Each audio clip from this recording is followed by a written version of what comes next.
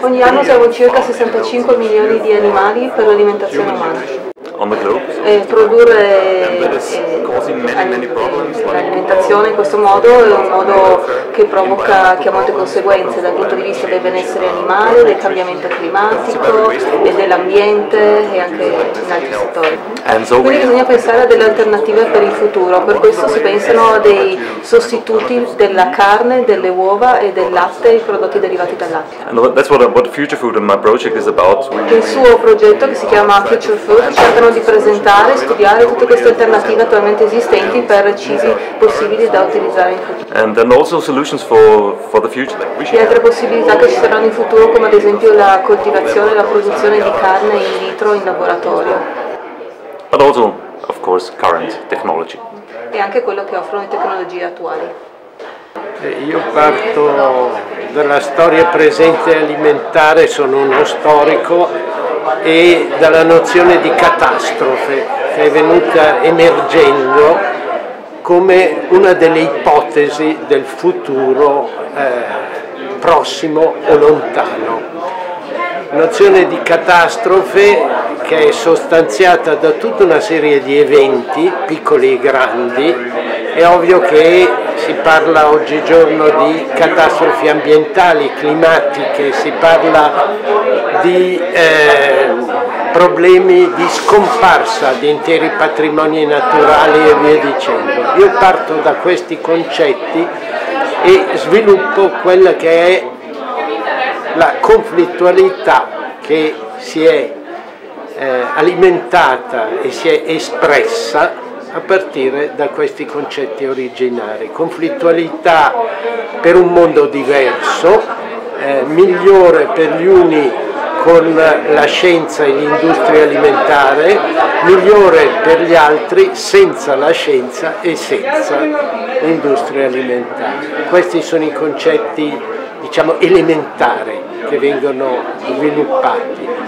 in una trama che è complessa, ovviamente, perché è la trama che oggigiorno ci porta a preferire le cucine del passato alle cucine del futuro o viceversa ci porta ad alimentarci in un supermercato come l'unico luogo di approvvigionamento sicuro e eh, costante. Allora, nel, 2000 nel 2050 noi saremo 9 miliardi di persone eh, che dovremo ovviamente alimentare. Eh, questo richiederà eh, una sfida all'agricoltura eh, molto importante e mh, eh,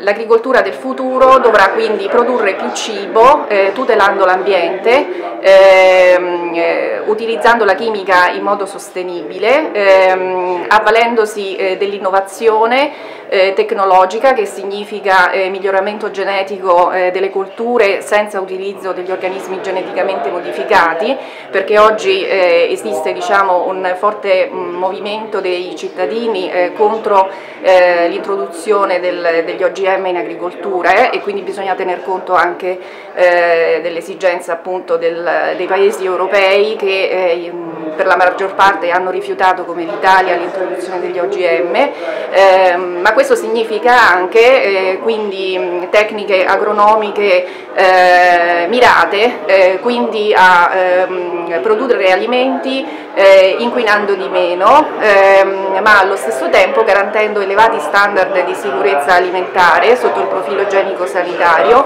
rispetto del benessere animale, valorizzazione delle produzioni locali e possibilità eh, diciamo, quindi di rispondere ad una eh, domanda diversificata eh, che viene mh, da parte dei paesi ad economia avanzata e dei paesi in via di sviluppo che hanno esigenze diciamo, eh, profondamente diverse. Eh, la sfida quindi dell'agricoltura è quella di rispondere ad un mercato di consumatori estremamente diversificato dove eh, posto eh, sia il, ehm, il prodotto diciamo, ehm, eh, fortemente legato al territorio eh, ma anche l'agricoltura biologica, eh, ma anche l'agricoltura intensiva se così la vogliamo chiamare, eh, perché bisogna rispondere ad una pluralità di esigenze diverse. Ehm, tutto questo, come dicevo prima, eh, richiede ovviamente ricerca, tecnologia, innovazione per l'agricoltura eh, e quindi anche una maggiore attenzione eh, da parte diciamo, di tutti gli Stati ad investire in un settore importante per la qualità del, della vita, del, e, come diceva un anonimo del Cinquecento, di tutte le cose della vita, eh, ne conosco solo una veramente importante che è mangiare, tutte le altre vengono dopo.